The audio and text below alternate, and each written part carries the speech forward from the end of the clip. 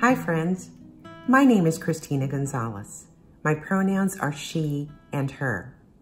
I'm recording today from Seattle, Washington, where I live and work on the unceded lands of the Coastal Salish people, specifically the Duwamish. It is my honor to serve as Director of Innovation for an Inclusive Church with the greater Northwest area of our United Methodist Church. I've served under many different titles during my 20 plus years in conference leadership, but all centered in intercultural competency. It is because of this work that I'm invited to speak with you today. I've been a support person in a complaint process only once, but I learned a great deal about our system in the course of that work. First, let me say that I was honored to be invited to be in the role of a support person. It is such a position of trust.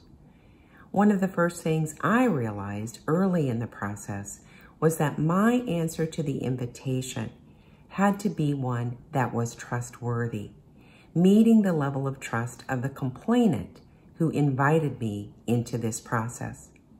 You may have reflections to add to these, but here are some of the questions I asked myself before I accepted the invitation.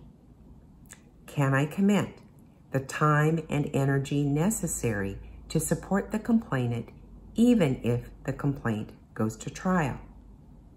Am I the right support person to walk beside the complainant? Do I have some level of power or status that might help mitigate for the power differential between the complainant and the accused. If my support becomes public, say through a trial, am I willing to stand firm in my commitment, even if it means potential loss of relationship or community for me due to my support role?